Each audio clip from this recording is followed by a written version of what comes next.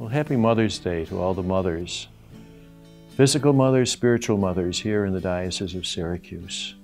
We wish all of you a very blessed day. Whenever we think of Mother's Day, we, we look back and think of our own mothers. I know I do. And uh, mothers are either with us here on earth or they live on in our memories, very happy memories.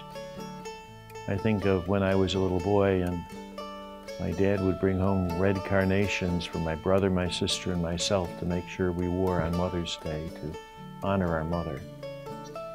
I think of school days off and trips to downtown Buffalo, which was always a treat when we were home from school.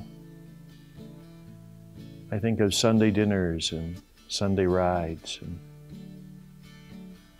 I think of the fact that the faith was always part of our life. Faith was always part of our home. It was always there. It wasn't oppressive, but we were always conscious of it. And I think that grounding in the faith is one of the primary responsibilities of our mothers today as educators of their children in the ways of faith.